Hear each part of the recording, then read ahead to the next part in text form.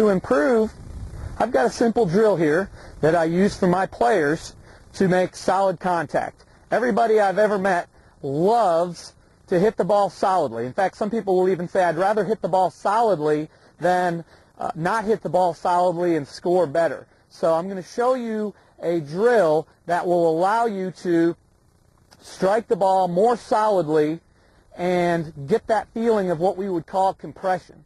If you're struggling striking the ball solidly, try this drill. I'm going to take my ball position and set it just about in the center of my stance for the purpose of this drill and take a normal stance. From there, I'm going to take my back foot and simply lift it up off the ground until all of my weight is on my lead foot, or a lot. My toe and my right foot should be very, very light. Even though I have it up, I could still be back here. We want to get over here onto our left side. Okay?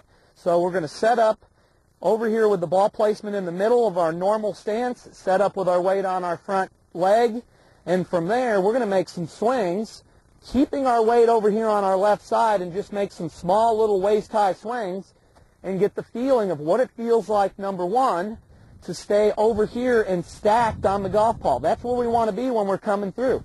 Think about your low point will occur where your divot is. If I'm way back here and I make a swing and my head and everything falls back, now I'm always catching the ball on the way up. If I'm over here getting on my left side coming through, I can feel that my weight is on my left side and I'm rotating everything through to a uh, follow-through position. As a result, everything is pointing here at you and I'm definitely not falling back into this position if your back hurts when you play golf, this will help you as much as anything else.